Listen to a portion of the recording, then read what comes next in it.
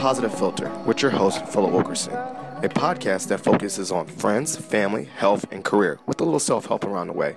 Please join me in this journey for self improvement, and I hope that what I have to share will make you a better person, thus making the world a better place.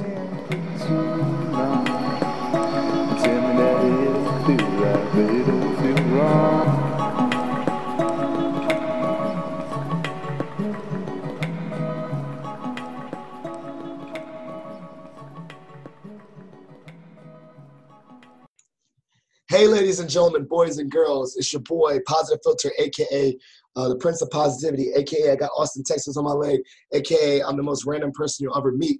And I'm joined today by a very special guest. Well, everyone is a special guest, as you know, because they take their time to, to join me. But I got, I think, my second, I think I had to say, my second NFL player on here, man. I'm getting all these athletes meet me on the podcast. Makes me feel like I'm actually made it. I made it. Got these special guests, but I am joined by Ellis Wyms. Ellis, give the listeners a little introduction about who you are. Uh, well, my this is Ellis Wyms, aka E Dub, uh, aka Insane, yes, uh, aka uh, Super Bowl champ. There you uh, go. Tampa Bay Buccaneers. Uh, yeah, man, it's good to be on. Good to get a chance to talk to you. Uh, it's just uh, great to get a chance to connect with you and your audience, and uh, really just kind of have a good a good conversation today. You know, back and forth about just life, business, and whatever you want to talk about, man. So you know, I'm game. Let's do it. Well, you know, I, I definitely to be a little bit prepared. I definitely took a look, and um, as we said, taking us through your journey, you you played on the Super Bowl champs uh, Buccaneers team. Which which one was that? Was that the one with Brad Johnson? Yeah, that was Brad Johnson, yeah. the quarterback. You know, Warren Sapp, Simeon Rice, Derrick Brooks, John Lynch, who's the GM of the 49ers, who's playing in yeah. the um, in the Super Bowl uh, uh, uh, this week, which kind of lets me know I'm getting old when my teammates are like GMs and playing, you know, yes, yes. and running Super Bowl teams. But uh, yeah, man, great team, great group of guys. Uh, was fortunate to be on that team. Well, and I also think that uh, we talked about it earlier. Uh, I, I, am in the DMV right now. That's where I live. Uh, unfortunately, I'm a Redskins fan. When I say yeah, unfortunately, very unfortunately, very unfortunately. and, and, so, you know, uh, I've been had the pleasure of meeting um, Brad Edwards, who was on the Super Bowl Redskins team. So you're my second. I guess I'm getting all these football players and Super Bowl champs. You know, I guess just uh, as a magnet, excellence is gravitating, and I'm getting all these excellent people on my podcast. But uh, and also tied in. I remember when Brad Johnson played for the Skins, and of course he left, and that's when he gets the Super Bowl. But take us through your journey um, because we're going to talk about how you transitioned from football to your business. But take us through the journey of how you got to playing in the NFL. Uh, well, no, really, man. I grew up in a small town, Indianola, Mississippi. Uh, and honestly, like, you know, growing up in that environment, like I had never seen anyone go to college and play football, mm. much less, you know, playing in the NFL. Uh, so it was a long journey. Uh, and honestly, you know, I could say uh, it wasn't one that I expected. Again, a lot of times your expectations for your life are pretty much structured by, you know, what you're around, your environment, your life experiences. So it wasn't something that I expected, uh, but I was always the type of person that I was just wired to do the work. Mm-hmm. So you know, I grew up. You know, my my school, my high school, my high school football team, it didn't have a winning culture, right? So mm. there are a lot of times where you know we have summer workouts and I was the only one there, or you know yeah we start the, the season with 80 people on the team. We end the season with 20 people on the team. Oh wow, playing both ways then, obviously. Yeah, oh yeah, I played both ways, all special teams. Uh, but again, I was just always wired to just show up and do the work. Uh, God blessed me with some talent. Uh, I had some great people support me uh, and try to put me in situations to get exposure. Mm. Uh, I had a chance to go to Mississippi State, and even going to Mississippi State, I was, you know, I was the first person from my high school to get a, a, a, a Division One football scholarship. Yes. So even going to Mississippi State, like that was the pinnacle for me. You know, yeah, like you made it. Yes. I'm like, I made it, bro. Like I made it out of that small town. I get a chance to go to college. Uh, I had my my head coach, Coach Jackie Sherrill, my freshman year, uh, kind of tell me, "Hey, man, if you if you do what you're supposed to do, you can play in the NFL." And still, I was like, "Man, get out of here!" Like you know, like that's that's not real. Like I'm not those guys. Uh, but I, again, I just showed up and did the work and just worked really hard every day, did whatever they asked me to do. Uh, and I was able to get drafted in the sixth round by the Tampa Bay Buccaneers.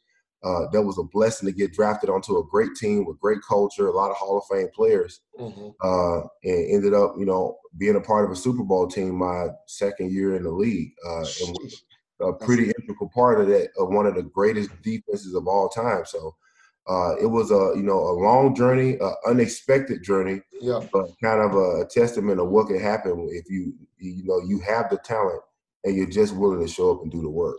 Well, so uh, wonderful, and obviously, I, I think so much of people's journeys is, as you said earlier, you know, sometimes just opportunities and doors open, but you just it, it, in the present moment, you don't think about the NFL. You're just like, I bet you thought like, let me just show up to practice and be the best at that practice. Let me show up to be the best at this practice, and before you know it, the game. Let me just show up to be the best at this game. It's just showing up and then present, and then overall, it, it it makes like a compilation. You know what I'm saying? Is that how you felt? Like, I'm not focusing on the NFL. Like, let me just show up and be the best when I got to college. Yeah, well, I'll tell you this. My uh, I played uh, in the NFL. Uh, one of the most impactful people in my life was Rod Marinelli. Uh, he was my defensive line coach for five years. Uh, he he he just uh, he was the defense coordinator for the Dallas Cowboys up until recently when they you know they fired everybody with the yes. Cowboys. Yeah. Uh, but um, he he had a great. He always had these little sayings uh, that he would give to us just to kind of keep and help us keep perspective. And he always said, "Just be where you are. Like just be where you are. Like don't start thinking about being over here. This thing you want to do." you know the grass is greener on this side just be where you are uh, and i think you know i was kind of just wired to be that way but you know when i got to the nfl that was a huge uh, uh, uh, tidbit of information that he just kind of gave me to give me perspective every day you have this practice you have this rep you have this opportunity right now this moment max this out and then move on to the next one. But don't yeah. start thinking about the end of practice at the beginning of practice. Yeah, I remember. Yeah, so, I, yeah, so don't I, start I, thinking about the game on Wednesday. So you just got to be where you are. Yeah, I love that. So to transition, um, one of the things that was very impactful, and it's probably going to be impactful for young athletes, especially ones I work with at a college campus, is that uh, the NFL, the funnel for the NFL is so small. Did you recognize that and did that propel you to think about your academics concurrently while you were in college? Uh, you know what? I think again, for for me, it wasn't about thinking about things that I couldn't control. Like I couldn't control the funnel into the NFL. I can't control, you know, the economy or you know mm-hmm. anything that's external. I can only control what I can control, and that's again to show up and do the work. So if I have a class to go to, uh, mm-hmm. go to that class and do your best in that class. Mm-hmm. Uh, just try to learn. Because again, growing up in the environment that I grew up in, like I didn't have a set direction on academics or athletics or anything. Mm-hmm. I didn't have like a north star to shoot at for me. So yeah. you know, if you're fortunate enough to grow up in a household or or in a community or at a school that can kind of give you direction on a career or mm-hmm. what you want to do with your life, that's great. But you know, unfortunately, that's not the case for everyone. So mm-hmm. I think the thing that we can control is just whatever situation we find ourselves in, just max out, just do your best. Uh, and for me, you know, that's that's always allowed me to at least find myself in a positive situation around positive people uh, who who just want to get things accomplished. Uh, and again, I hadn't always had known the exact thing that I wanted to do, but I just always tried to perform in whatever situation I was in. So, what did you study in college? I studied technology teacher education. So I wanted to mm. teach technology classes and coach football. Uh, you know, my uh, my mom put me in uh, like these summer programs when I was like fifth grade. Where I could do math and English on a computer. So yeah. for me, it was just really cool to just not have to write it down. Like I could just, yeah. I could just type the answer, or I could just pick A, or yeah. You know, so it, I was always intrigued by computers. And then um, in in in college, my senior year, I got a chance to take Votech. You know, Votech was like you know like a vocational training class yes, yes, yeah. that you could take. So we would get on a bus every day, drive 20, 25 minutes up to Leland, Mississippi, uh, to go to the the Votech campus, and I took you know computer classes where I learned about Microsoft Word, Excel.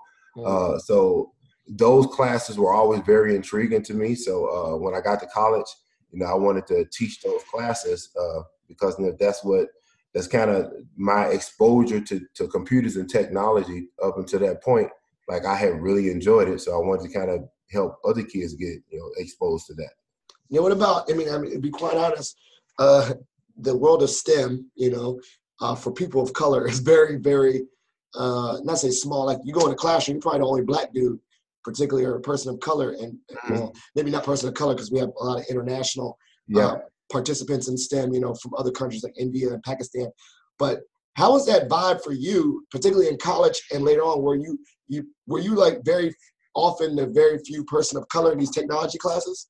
Uh, yeah, uh, definitely. I, you know, I think so. Again, I went to Mississippi State, and uh, you know, that's uh, it's a predominantly white school. Uh, yeah. uh, but you know, we it, but we had a, a, pretty solid, you know, black population. But I think uh, with things like technology and engineering, again, yeah. it's it's you're all, you're only you're a product of your environment. And I think a lot of times with, with African Americans and minorities in the country, like when you grow up and you're not uh, exposed to these mm-hmm. things, or you're not really pushed to be involved uh, from from a child. Uh, mm-hmm. when you get to college and it's time to make those decisions, you don't feel confident enough to take that track. Uh, mm-hmm. but you know, I'm grateful that my mom put me in those programs that she put me in, and then getting a chance to go to Votech as a senior, like that exposure gave me the confidence and and really just kind of made me aware that it was something that I was interested in. Yeah. Uh, so when I saw it, you know, you're looking at majors like you have no idea. Like when I first started, I'm like, okay, chemistry, okay, I'll try that. Yeah. But then I had to take a chemistry class, and I was like, you know what? Eh, like I can't really learn this like this, this, this periodic table and you know all yeah. this stuff that was going. It was just it was overwhelming for me as a as a as a, a college football player, and all the yeah. time I had to commit to that and commit to being a chemistry major. But I just chose that because it's like okay, it looks cool but I, yes. I didn't know anything about what that meant. So honestly, the technology teacher education, it was like, okay, I've had some exposure to computers. Yes. So I feel comfortable with it. Yeah. Uh, but yeah, it's it's. It, I think that's an issue with you know with it, with you know minorities in certain communities yeah. where they're not exposed to it or have the confidence to feel like it's something that they can do.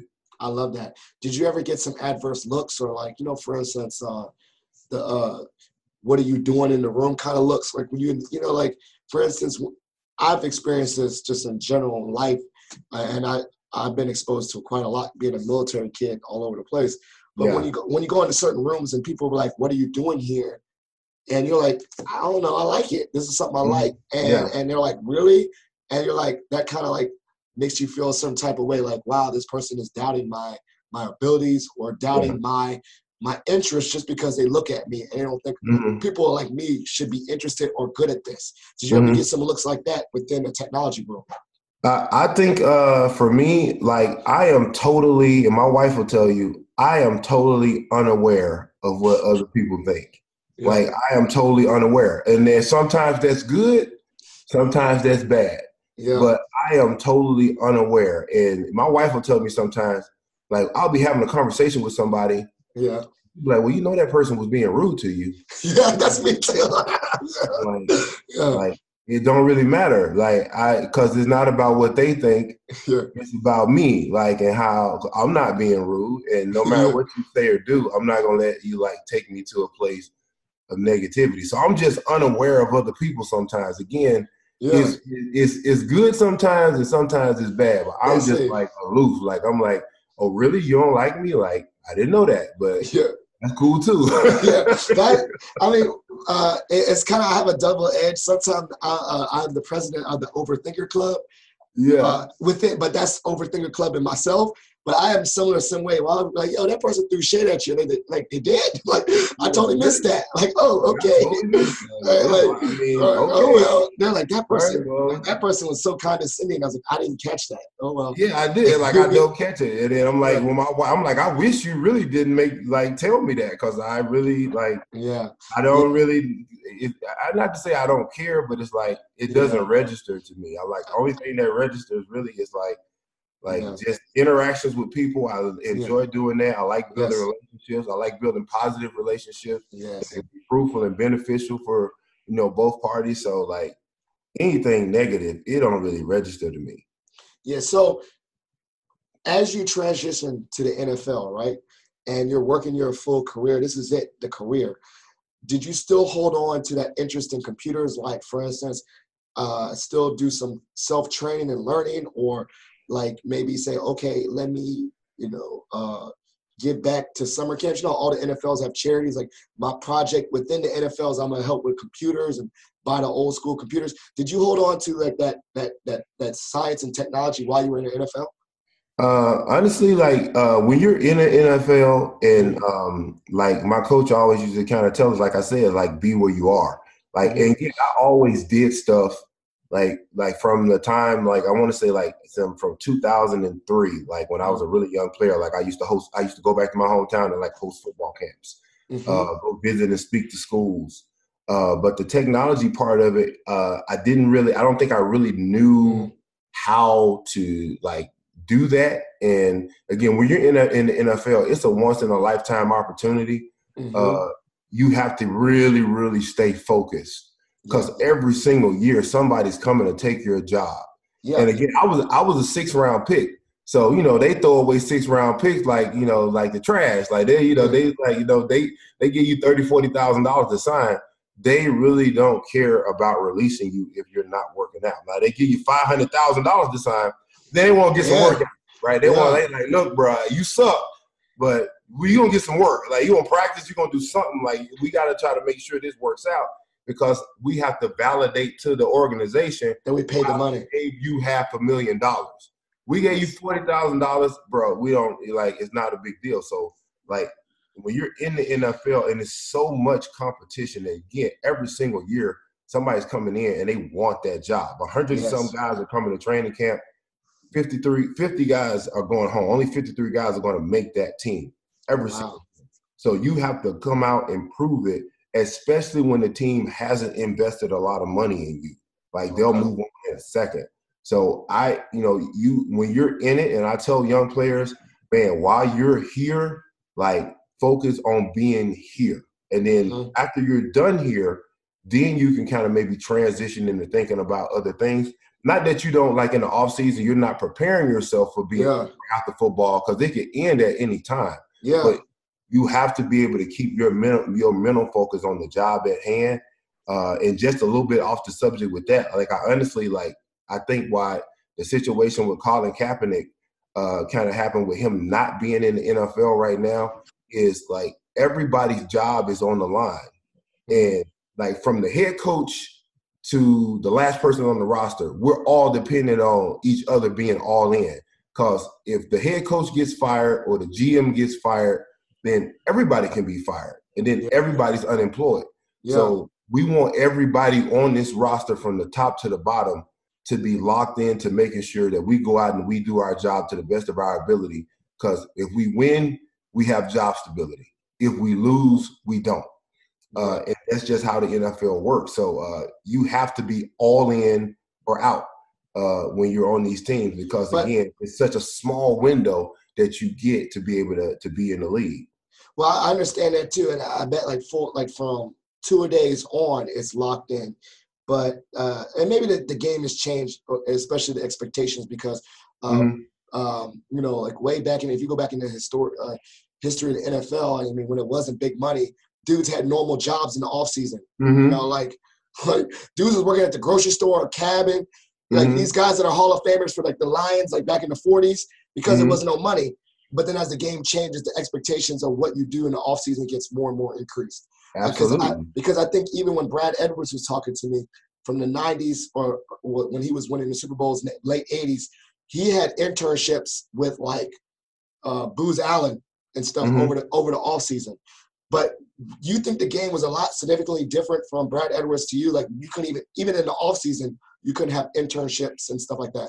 No, no, because they're OTAs. Yeah. Uh, and again, yeah. you got to understand, like these are multi-million dollar jobs. Yeah, they're like, different. Yeah, multi-million dollar jobs. Like you, you, you sign a big contract. Mm-hmm. Uh, it, like I was a backup defensive lineman, Like mm-hmm. I made almost ten million dollars in the NFL as a backup defensive lineman. Yes. Uh, uh, so uh, that's mm. that's a life changing experience yeah. for for a boy that came from Indianola, Mississippi, who mom was living in a shotgun house the day I got drafted. Uh, yeah. so that's a life. So in the off season, like you, when you show up to training camp, you yeah. better be fit and ready for war. Yeah, Every that makes sense. Day. Yeah, because yeah, because you're not getting paid uh, five hundred dollars like back in the forties. no, no, it's not. It's not that, yeah. right? It's, it's a life changing opportunity. It's a lot. It's a lot. It's the, the game is changed. different. So the off season, there's OTAs. You know, they're, they're and every time you step on a football field, you're being judged, you're being tracked, you're being evaluated. So even though it's off season practices, you know, uh, we have mm-hmm. these organized team activity days uh, three times during the, the off season where it's like, you know, a four day weekend where you're practicing. Uh, but it's being filmed and recorded. And then the rookie class is there and the free agents are there. So it's competition that's setting the table going into training camp of yeah. what the expectations are. Okay, man, he looked good in OTAs. Let's see if he can carry it into training camp. And that's your competition for that job. So when you show up, there's no time to be out of shape, unaware, not mentally sharp, not locked, not locked in. Because again, you can lose a multi-million dollar opportunity if you're not prepared to compete. Do you think that's fair? Because what I would go and, and, and just and wondering as a question is yes, they're paying you a lot of money. Yes, uh, you're locked and loaded, ready for war. But the football is not not even from GM down. It's everyone's entire life. And mind you, what is the the league's responsibility to train or develop, you know, rookies and whatnot to be mm-hmm. prepared mm. for the world outside of football? You know, as you said earlier, one of the things that that stuck out in my mind is that exposure to like job skills and how to manage your money and just this world of work even if football is you know your job or world of work for certain people from small towns in mississippi this is their big exposure uh, never seeing money like this or never seeing how you talk to owners or wear a suit and be a businessman mm-hmm. uh, what do you think is the league's responsibility to develop the professional side of like coming to work and and and having people prepared for the world of work. Well, I um, think I, I think the NFL in itself, uh, again, the culture in the NFL is one that prepares you for work. Again, mm-hmm. uh, I've seen guys who are super talented, uh, guys that come in that probably were more talented than me in my position or more talented as a wide receiver, come in and you know do a great job in OTAs, look like a great player, but then they couldn't be professional right? Mm-hmm. They couldn't show up on time. Mm-hmm. They couldn't be dependent upon the, to do their job, to understand the information. So they got cut because they couldn't be pros. Uh, so I, you know, it's professional athletics, it's professional football, and young players who come in, if they can't adopt that professional mentality, then they don't stick. Because again, we're all dependent upon each other to do our job, right? Because yeah. if you're not, if all eleven guys aren't doing their job, then we fail. So, so if we can have a perfect play, and if 10 guys do their job and one guy doesn't, the play fails. Uh, so you have to develop develop those professional characteristics just to be able to be around in a win on winning team. Now there's some teams that suck yeah. and have losing culture. And uh, honestly, the, the, Redskins have been one of those teams where they have sucked and they have a losing culture, right? Yeah. So, but you also notice that nobody's coming through Washington like picking up Washington free agents, right? Winning teams because they know those guys haven't been like prepared to win. But say you play for the Patriots, mm-hmm. right? They know you've been trained and built under a winning culture and you understand what it takes to be a professional. So yeah. even though you might not be as athletic or have the talent that this guy from the Redskins have, you want that winning culture within your locker room. And I think the NFL does a lot to try to expose guys I think what, what a lot of people don't understand is you're dealing with 20 something year old guys. Well, I'm, I, and, hey, hey, you know, I know I'm working, and that's what I was asking because not even the NFL culture, I work with that in the higher ed culture of mm-hmm. uh, not just talking about coming to college to just get a degree, but we're also have a responsibility to, to help develop students to be professionals and go to work.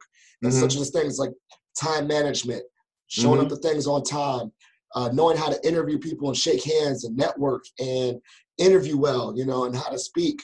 Uh, mm-hmm. Definitely, that's a responsibility that I take very, uh, very strongly, and especially uh, I advise certain students, like I advise the alphas here on campus, mm-hmm. and I advise the uh, students in the NAACP that I'm not just telling them how to book meetings. I also want to prepare these young people to to be good at work. So yeah. I definitely definitely agree with that too. It's like you gotta there's little things that are that are taken for granted that those things do prepare you for work, showing up yeah. on time and being respectful and timely and writing, responding to emails and all that stuff. Yeah, and, and again, it's like um, there's certain just you know within successful companies, there's mm-hmm. successful culture, and mm-hmm. you'll see all the time where not just in football, just in life, you're like, man, that dude is really talented, mm-hmm. but he don't know how to work with people. That yeah. dude is really talented, but he's not dependable. Yes. Like so, you you see those things, and you know the thing with the NFL, the the the trouble, the the default problem is these are always very young kids that come into more money than they've ever had in their life. Yes. And I tell people all the time, okay, you're 45, 50 years old. It's easy to say what you would do with $10 million. yeah, but yeah. what would you do with $10 million if you were 22 years old? Like, uh, what would you do? Like, most people, like, they're not, like, you can say, okay, I'm to go start business. I'm to go invest. But more than likely, you're to go buy a Ferrari. More than yeah. likely, you're to go to some parties. More than likely, you're to go to strip club more than likely you're going to do exactly what those kids are doing because that's what we do when we're young. These yeah. kids just get exposed because yeah. you know because they're in the spotlight, but they're no different than any of us like who would be 21, 22, 23, 24 years old come into that type of money never had it before. I was about to say that. That would be the main thing. Would be like even if they never had it before. I, I let's say I got two working parents. My my my mom's a doctor. I mean, this mm-hmm. is true. My mom's a doctor. My dad's an army colonel. And mm-hmm. so even if I played it, if I made it to the NFL, uh, while my parents never got no millions of dollars, I've mm-hmm. seen I've seen that level of, of, of my dad making six figures in mm-hmm. regards to the military career, and my mom making six figures as a doctor. So I would probably, you're right. Like in my mindset, I can have my parents as advisors, or mm-hmm. have a little bit. You know, I'm pretty sure like RG3, his dad was a military guy, mm-hmm. or Mike, uh, or Shaq, his parents mm-hmm. military. Where they'd be like, you know, you got ten million dollars, shout out to you, but they would they would coach you a little bit. But yeah. you're right. Like if I'm the first one in my generation, uh, in my level, I don't have a parent to to give me ex- advice. Yes, I totally agree with you. I would not know what to do with ten million dollars. You, you you wouldn't. And it, again, I think uh, where we are now is really trying to make sure we're developing not just a generation of kids, but a generation of parents mm-hmm. uh, to be good stewards of their mm-hmm. children, to be able to a, advise their children. Uh, you know, and again, I you know I I take that role in my life more serious than anything as being a husband and a father because I didn't have my father growing up. Mm-hmm. Uh, and I was that guy, you know, that, you know, I just had my mom and I came from nothing. Uh, and you know, just really like having to figure everything out in the mm-hmm. world on your own. Yeah. Like it's, it's, a tough thing. And I, I, uh, I don't want to ever put my children in a situation where they don't they can't say you know you know right now you can pick up the phone and call your dad. And if you can't trust nobody on the planet to give you the truth you know you can trust your dad. You know you can trust your mom. Uh, and you know your dad is prepared to give you good advice. Mm-hmm. uh, but that's that's not uh, most african americans uh, yes. experience. Uh, so it's a it's a tough thing for a lot of these young men and the NFL does a lot to give guys different programs. Like they have programs at Wharton Business School and career yeah. transition programs. They do yes. a lot of things, but yeah. you've got to be in a mindset to take advantage. And unfortunately, like when you're in your 20s and you're living life and you feel invincible and 80,000 people cheering you every week, yeah. like it's hard to think about going to Wharton Business School. you know, yeah, true. Or that Wharton is, like, or even uh, Wharton is like, wow, like I know from working in higher ed that Wharton Business School is one of the top notch. But someone else that never heard of, it, they'd be like, "It's some college they want me to go to." What? Like, yeah, like, I never heard of it. I'm like, Wharton. Like, what is that? Like, you yeah, know, like, exactly. if you told me, if you told me, let's go to USC, or you know, like to go, yeah. you know, Like, yes. okay, yeah, I, have heard of that, right? Yeah, exactly. Okay, I can do that. This is in LA. What yeah. school? Like for what? Like yeah. Penn, you Penn, where's this? yeah, yeah. It's like so. So you you understand it. Like you would probably understand the value of it. Yeah, a, a, young kid from the Boondocks, yeah, who never like had any exposure to that. He's like, like I don't really understand why I should go there. So you know that that's the that's the issue that the NFL kind of deals with. They offer a lot of programs, but you yeah. got to be in the right mindset to take advantage. Who was okay? So if you didn't have your father, and I know like was this pre Tony Dungy?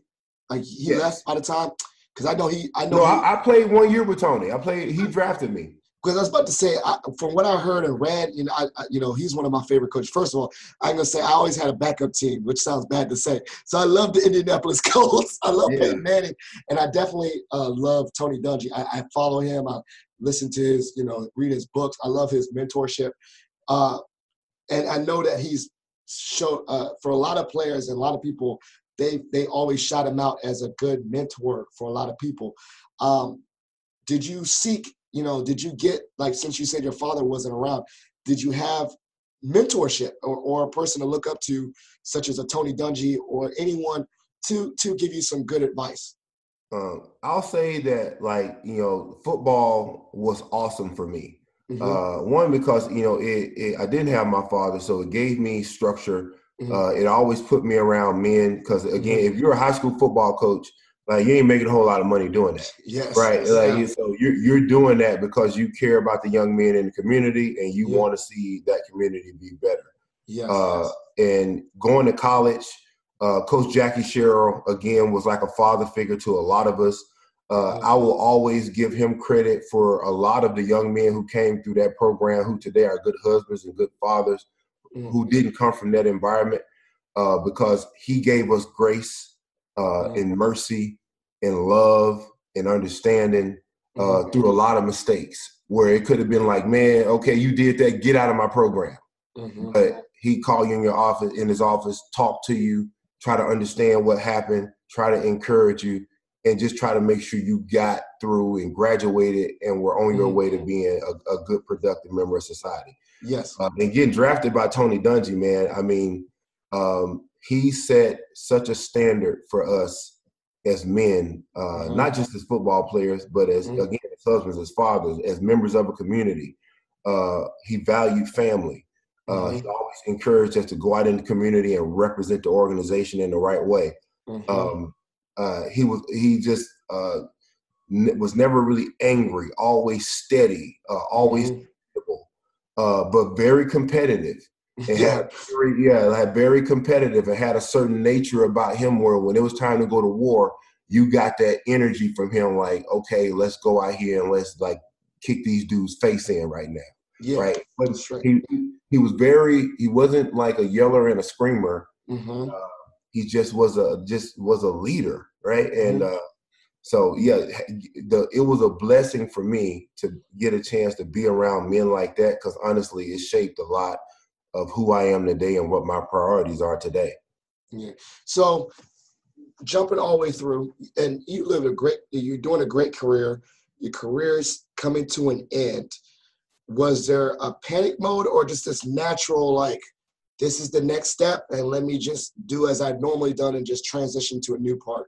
Uh, you know, like, was like a holding on, like, you know, sometimes some players probably hold on way too long and they get their body just beat up, or was there more like, okay, this is this is it. You know, I'm getting older. Uh, the younger players are coming in. Uh, let me start thinking about my my my career post athletics and, and start just preparing what I need to do next. You know, take us to that.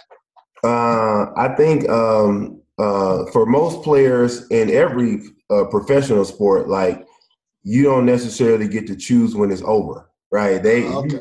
You, some of them do, but some of them dudes just be like, "I'm done," like Barry Sanders, like I'm done. yeah, that's but that's very few. Like, yeah, yeah, yeah. Like, yeah, like, yeah, yeah. You know, they trying to play until somebody tell them that, look, man, we're not gonna hire you no more. Exactly. Yeah.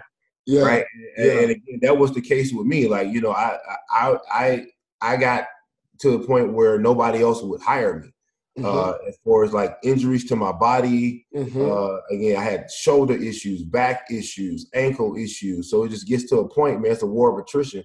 uh, your body just can't do it anymore. Uh, mm-hmm. And that wasn't something that I wanted to accept, but mm-hmm. eventually have to accept it. And honestly, mm-hmm. you know, transitioning out of the NFL, I was kind of lost, right? Mm. I didn't know what I wanted to do because that was my life. Like that's I put mm-hmm. my life and my energy into playing football, and I hadn't really thought past that. And mm. again, that's the case for a lot of players where um, once they're out of the game, they struggle because your identity and everything that you are mm-hmm. is within the game. Yeah. Uh, and it, to a certain extent, it kind of almost has to be to be able to do it at that level, at a high level. Like you have to be mentally and physically committed to it. Uh, mm. Uh, and uh, so I struggled, and uh, like I, I let for a long time, I let other people kind of you know dictate kind of what I did or hey man, I think you'd be good at this. Hey, come try this. Hey, you know, man, this you know this could be something that you could do. Uh, mm-hmm. You know, like so it because I didn't know, like I didn't have a direction. Mm-hmm. Uh, so for me, uh, after I just got tired and frustrated of doing things that I was really unhappy with, that really didn't fit who I was, like I always have done community work, like always. Mm-hmm. So um, I started to I started a foundation that uh, we wanted to help uh, students find innovative, innovative ways to stay fit. Right. Mm. So uh, I started working with Microsoft, had them as a partner, uh, partner with uh, the city of Houston, working with a lot of their uh, their their community centers, working with mm-hmm. schools, installing Xboxes with the Kinect systems to get mm-hmm. kids up and off the couch moving. But while I was working with Microsoft, I kind of saw that they were doing a lot with computer science education, like in the mm-hmm. store. Mm-hmm. If you didn't come into a Microsoft store, like you didn't have access to this to these opportunities. So I started to think like, okay, man, like what if we can take these opportunities like into schools, into into community centers, uh, and so I started uh, a company that kind of teaches these classes. Yeah, uh, that a lot of schools and a, and a, lot of community centers, a lot of organizations want and need, uh, but we do it remotely. Uh, so again, um, coming out of football, mm-hmm. I didn't know what I wanted to do. I had no direction, no north, north star, and I got pulled in a lot of different directions. Mm-hmm. And I eventually just had to sit down and say, "Man, who are you, and yeah. what do you want to do, right. and what will work for you?" Uh, and once I kind of figured that out, then things started to move in the right direction. Yeah, I, I love that. I love that. I love that. Uh, it just kind of pulls it too. It's like if you don't dictate who you are, people are going to try to force who they think you are to you. Mm-hmm. And if it's not firm, uh, I've learned over time, if you're not firm in yourself, uh, then when you get pulled in all these different directions, you don't make as strong decisions because you really don't know who to listen to. And sometimes yeah. the best person to listen to is yourself. Yeah, it's like you, you again, you let other people kind of dictate Mm-hmm. and then they other they're using your time right because time is is is finite like you you know we don't yeah. have we don't have forever uh, so how you use your time and energy I mean, you need to be using it in a way that makes sense for you uh, and your happiness and your personality and your your tools and gifts that you've your been skills. given yeah yeah uh, and so i you know that's that's a tough thing for a lot of people but especially for nfl athletes because yeah. or pro athletes in general because again it's just like with an engineer or an mm-hmm. attorney or anybody who's had a certain career for 20 30 40 years yeah say okay that's taken away now what now who are you yeah. you define yourself by this career like you know somebody asks you man they don't ask you who you are they ask you what do you do yeah right? I joke, you know, when people do that to me, I always troll them and say I'm a dad. and then and then they're like, for real, what are you doing? And then I tell them my job because you know, like I said, I throw people off because that is not my firmest identity, honestly. Yeah. And um and I think that's true like across anything where you invest so much time. I think, you know, for for instance, my dad had a hard time. 30 years in the army, he was a army colonel. That's mm-hmm. who he was people called him Colonel Wilkerson. They didn't like say Mister. They they they, they say Colonel Wilkerson, his title. So I'm pretty sure he had a, a long time of like, who am I post military? Because mm-hmm. his whole his whole adult life from uh, being 18 years old on was the military. He even went to a military college.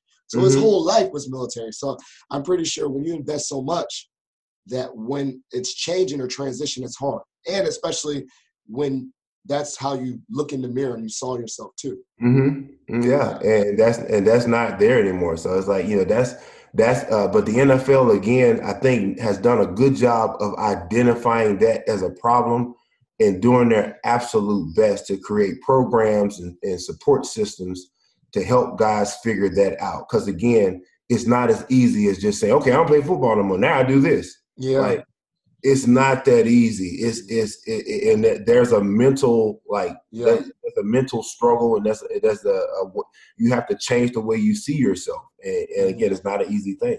What about when was the time, for instance, when is the time where you go, aha, uh, this gives me just as much joy as playing football. Like I got it. Like when you say I got it, like I'm doing things for the community, and this is where this is where I feel good about it. Like I feel like this new identity. I'm filling in. I'm, I'm filled into it. When did that when did that click for you? Uh, well, you know, again, we do uh, we we do the classes via video mm-hmm. conference. So mm-hmm. uh, the great thing about it is like I can plug into students anywhere in the country, really anywhere in the world. Mm-hmm. So I get to leverage my platform as an athlete, like in the educational system, in a area that every federal, state, local governments, private sector understand that we need to improve in STEM education and tech education yes. in the economy.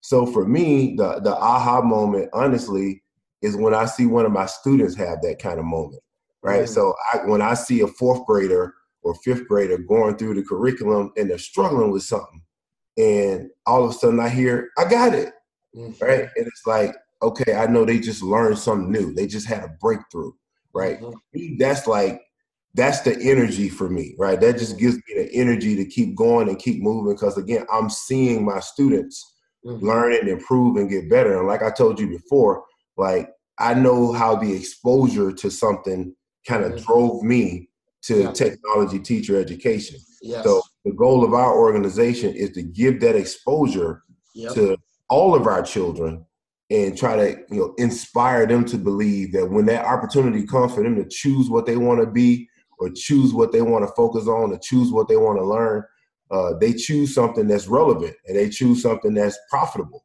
Yeah. Uh, choose something that can that can really kind of give them the ability to to to to live the life that they want to live. Uh, and uh, so that for me is like the uh, that that moment for me. Like when I when I when I first saw one of my students like learn something and be excited about what they just learned. Yeah. Yeah, that's possible.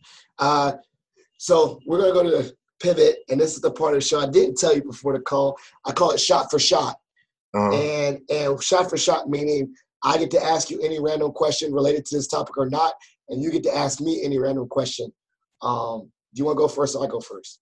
Uh, I'll let you go first, man. I'm I'm ready for this though. I, I specialize at random answers. Yes. So let's do this. Anything so, and make it hard. Let's go. No, okay. Well, it's not super hard, but it was often like I think of these shot for shots while I talk, and the main thing that's been so so firm is identity, right?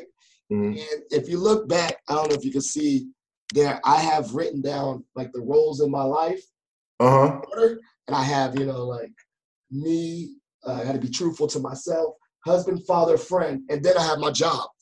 Mm-hmm. And so we'll get to that. So can you, if you have, you know, take a little bit, if you need a little bit of time while I make up fake Jeopardy music, can you tell me at least five firm identities that you believe are part of who you are, why those are firm, and how do you live those each day? So, for instance, uh, one that's really firm to me is being a husband. Uh, you know, uh, she, my, I love my wife, and if it wasn't for her, you know, literally she wouldn't get, I wouldn't have the opportunity to be a father and all that stuff. And so how I reaffirm that is always make sure I check in with my wife every day. I send her every time I send her at least every time I drop my boys off, I send her a random text to say I love you or just something I, I appreciate her or something like that.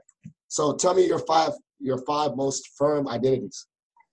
Uh, I mean, I think it'll be very like similar to you. I mean, I think first of all, uh, being a husband, uh, to my wife again. That is my partner in life, mm-hmm. uh, and uh, is it, nothing uh, in my life uh, goes how I wanted to go if I'm not aligned with my wife. Mm-hmm. Uh, and she's been amazing. she's been very supportive. she's a great mother. you know, she's a hard worker. uh, and I honestly lucked out because again, I married a beautiful, beautiful woman. Uh, that's an amazing person. Uh, so I lucked out there. So I would say a husband, a father. Uh, I, I, definitely I would I would put second again. I absolutely love my children. I have a 19 year old who's a who's a pharmacy student student at Ole Miss. I have a 10 year old uh, son here, and I have eight year old twins, boy girl. Uh, yeah, so my house is on fire every single day. Yeah. Uh, but I love my children, uh, and I put all that I am into making sure I support them and love them, and give them every opportunity to live the life that they want to live. Uh, I would say uh, a leader. Mm, yes. I, my, I think I have the ability to communicate and communicate things in a way that that people get it. Uh, I think I can disarm people. I think uh, I don't really. Uh, uh I can see through a lot of the the, mm. the the, the the blockades, the mental blockades, whether it's race or mm-hmm. Uh, or economics or whatever things that that mm-hmm. are put out there to try to divide us. I think I do a great job at communicating with every single person in every single situation, and I could be in any room in anywhere on the planet and feel like I belong there. Oh, that's powerful. I like that. So I think uh, a leader. Uh, I think I'm a competitor. Yeah. Uh, yeah.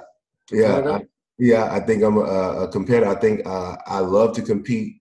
Uh, I still, you know, I can't play football anymore, but I still play in like some basketball leagues. Uh, yeah. You know, like all my all my kids are in sports, and I've I've coached all of them. You know, I mm-hmm. coached, trained, I trained my you know, my ten year old, my eight year old son to play basketball and baseball. Mm-hmm. Uh, I'm teaching my I'm teaching my my eight year old daughter uh, to be a tennis player. Yeah. Uh, so, uh, I want to compete at business. You know, I want to build a company mm-hmm. Uh, that that can be successful and, and, and, be powerful and be influential. Uh, and then I would say, as a friend, the fifth thing, mm-hmm. like being a, mm-hmm. a like uh, m- my friends uh, who I talk to, my friends who know me, uh, know they can call on me. Uh, like I'm the I'm the person that they call for advice about things. Mm-hmm. Like man, I had this happen at work today, or my child is doing this. A man, I'm in this situation with my wife. What do you think? Mm-hmm. Uh, so just being a good friend and just being there to to listen, not to like, you know, you know, take any sides, but just try to mm-hmm. get them to have the right perspective yeah. about whatever issue that they're having. Because a lot of times it's like things happen and it's like you want to be angry with your wife or you want to be angry mm-hmm. with this person or this person did me wrong. And it's like to try to have perspective on uh, everybody's life experience, even if the person is racist and don't like you because they're, yeah. racist. Hey, they've had a life experience that taught them to be that way. So you can't really let them people take you to a place of negativity. You got to kind of stand in the place of understanding when something happens and test that mm-hmm. right in your life. So just trying to be a good friend, a good leader, uh, and, and I would say friend slash mentor. Yeah, you know, like yes. uh, and just really trying to be supportive to everybody in my life. So I would say husband, father, uh, uh, competitor, yeah, leader, uh, uh friend, uh, yeah, friend and a mentor. Uh, uh, and that, I think that would be that would be me. Well, don't ask me that same question because I got the same one. So I got, I got, because I got, I got, I got mentorship too. That's very important to me, and especially as I mentor these young students all the time as an educator, but also the particular when I zoom in into the clubs and organizations that I'm a faculty advisor for, or particularly men of color. I'm definitely I'm a mentor. They got my number. They be asking me questions that are not even related to education. Can be like, yeah. yo, man, I got my, I got, I got this, John. How do you, how do you talk to your part-time boss this way? I'm mm-hmm. like, you know, what I'm saying so. Yeah, I, and people, and again, they need that. They need that because yeah. again, you, you have the life experience, yeah. Uh, with, and you've traveled, and you, so you've seen the world, yeah. and so you kind of can give them a different perspective. and a lot of times, kids just haven't had your perspective, and again, they, they need that. So let me ask, let me ask you, okay, so where do you see yourself 10 years from now? see, there you go. Um, so that is the part where I'm balancing between, uh, like you said, living in the present, the day to day, what can I do today, as, as, opposed to, you know, the long term. And I'm very, I think I'm very good at the uh, short term. Like, for instance, I definitely every year write out things I want to knock out in 2020, Mhm. um, and, and, and in 10 years. Uh, but I'm still like, if I close my eyes and try to picture, you know, visualize the visualization of five to 10 years, it's still fuzzy. Yeah. Um, uh, what I do see myself doing is talking a lot, whether Yeah. that's in front of a lot of people. So I would say one of my long-term things, if I close my eyes and visualize um, what I want to do in five years or ten years, I always picture an audience, and I don't know if that sounds like narcissistic, which I don't think it is. No, not at all. I want to help people, but I always picture myself on some form of stage or some form of auditorium with lots of people, not just um, you know, scary. Like like the kind that scares me, like an audience of like a thousand. Yeah. I've never I've talked to kids, I talked to about 500, that's the most, Mhm. which was like a high school class. Mhm. But, I, but when I close my eyes about the further one, I Mhm. picture like I picture a stadium Yeah. but not a but not a but not no uh will like you know not no uh Jay Z J Cole concert stadium. Nah, nah, I'm still realistic. Like like at least like a a, a gym auditorium with like five thousand people. That's Yeah, what well, I, can close well- my eyes and picture that. Well, so that's I- what I well- see myself in ten years or five years. Well, let me let me say this to you. Uh, you know, uh, very sad day yesterday with the great Kobe Bryant passing. Uh, and I think more than a basketball player, like Kobe Bryant was a transformational leader. Yeah, Uh, and one of the great things that I think he did was, uh, especially recently, was he issued challenges to Yeah. people. Right? Oh He- yeah, I remember those. Yeah, the little challenge. challenges to people to take things to the next level. So again, in the spirit of the great Kobe Bryant uh, and the Mamba mentality, I'm going to challenge you to be the dean at the college that you're currently at in 10 years, like to run the whole show. Like every, that'll that'll put you in front of thousands of people very, very often. So I'm going to challenge you right now. I'm going to make a Mamba talent challenge to you yeah, that in 10 years, you run the whole show. Everything at the college goes through you. Everything you you dictate the direction, you set the mood, you set the culture, you set the standard. So I'm going to issue a Mamba mentality challenge to you. 10 years from now, you run the whole show. And that'll put you right in front of everybody. All Yeah. 5,000, 10,000, however many students you Yeah. got there yeah. that'll, that'll, that'll, that'll knock out two birds with one stone. So I'm Okay. gonna I'm gonna I'm gonna issue that challenge to you in the spirit of the great Kobe Bryant, right So, there. So, so I guess, and I guess in, in general, in that pursuit of that, the day to day things will get me closer and closer to that. absolutely. Like, you know, I- I- wood. And I can't and I can't get and I can't get fired within ten years. Yeah. Oh no, you can't get fired. Yeah, you can't have no scandals. No scandals. You gotta, you gotta keep your eye open. Like you gotta be, gotta like, you gotta watch this. Yeah, yeah, yeah, right here. So, yeah. Like, so, but again, like I definitely, I definitely, we won a we won a Super Bowl. I- But the the goal was to win the Super Bowl. The mantra was just keep pounding the rock. You Yeah. know, like you're trying to break a rock and you keep hitting, you keep swinging. You don't know when it's gonna break. You don't know when it's gonna break, but you keep swinging. You yeah. take every every chopper. You take every chopper that wood, so you just keep chopping. But you know ultimately what the goal is. So uh, yeah, man. I, it's uh, right. Oh dang! I gotta put that on my. I gotta go backwards now. I gotta get my ten year goal and go back down and still do my one a year. I do the. I definitely write down my one year goals. So yeah, that's great. So now I like that challenge. I might have to put that in the. I have to write that down because if I forget. yeah, Mamba mentality, baby. All right. So you've been an amazing guest. I think, you know, I, I definitely want the listeners to be able to follow up with you. And so we're, we're at the segment of my show uh, called Shout Outs and Plugs, meaning shout out whoever you want to shout out. The floor is yours. And then plugs. Please let the listeners know anything that you're working on, anywhere they can follow up with you on social media, any of that stuff. The, the stage is yours. Shout outs and plugs. Uh, well, first of all, I uh, have to give a shout out to Out of the Box Realty. Uh, again, they've been uh, the the company that uh, that helped me kind of be able to you know find platforms and, and, and influential platforms to to get out and kind of tell uh, tell my story and talk about what I do. Uh, they build affordable housing in communities like the communities that I grew up in. That's why I kind of gravitated to them and what they do. They build affordable housing. Again, on my on draft day, my mom was living in a shotgun home that you can see the floor, you know, see the ground through the floor. Uh, and a lot of times with those communities, uh, you know, the way they look kind of dictate how people treat them, their energy in that community. So I love the fact that out of the box realty is like really helping like change the look and feel and energy uh, in these communities, which you know, we, this podcast is just about positive energy mm-hmm. because positive energy in the environment in, you're in a lot of times dictates your success. So, uh, out, uh, shout out to out, out, of the Box Realty. Uh, for me, uh, my company is called Athletes for Computer Science. And again, we teach computer science fundamentals to elementary age kids. We do it via video conference. We're always looking for college students to teach our classes. So, college education majors, uh, college computer science majors, uh, take what you know, take what you know how to do, and give back to the younger generation. And let's do it in mass. Let's do it at scale. So, we're looking to always recruit a pool of uh, motivated college students who want to give back.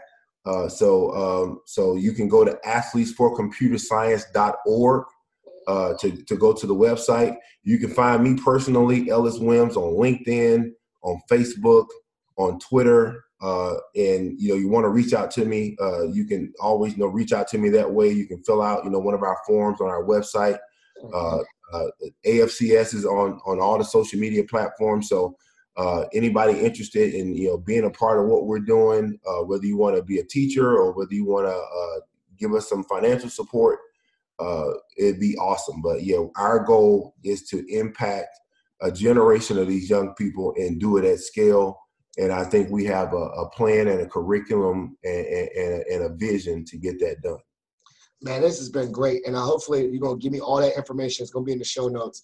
I, you know, I definitely appreciate your time, uh, what you're doing for people, especially people uh, all over the world that need to get involved in STEM and how that's growing. You're doing you're doing a tremendous service, um, and I think that is something that should be highlighted. So definitely, please. Uh, have all that and all the listeners, as you heard, if you're interested in helping and giving back and using your technology skills to help others, please connect uh, please connect with him and, and, get and get on board with this because I think it's a great idea. Thank you so much. I really, really appreciate you being on the show. I learned so much uh, about the NFL and that, that, that mindset. I accept your challenge. Uh, I'm gonna see. I'm gonna keep in touch with you. Obviously, we're gonna stay in touch. Absolutely, man. I, I, might have to check in once a year to sh- tell you I didn't get fired, and, and, I'm one step closer to my goal. Hey, I'm call me if you need. Hey, you need. I mean, I can talk you down off the cliff if you yeah. call it. People yeah. get on your nerves. Call me, bro. I got I was you. Like, I was like, man, I, I, and I hey, I hit you up. I see you the info, man. We'll stay connected. Yeah, I was like, I'm almost close. I, I, I got one more year to go to my 10 year goal. I can't do it right now, so I'm definitely gonna stay in touch. Uh, thank you so much. Uh, definitely uh, leave questions for the podcast listeners. Please like this episode, share this episode. Um, this is a great one, and I'll catch you on the flip side. All right, cool, bro. Thanks, man. Thank you for listening to Positive Philter, a podcast that focuses on family, friends, career, with a little self help along the way. If you enjoyed this podcast, please share it with your family and friends, and like the Facebook page, Spreading Positivity and Movement. Thanks for listening.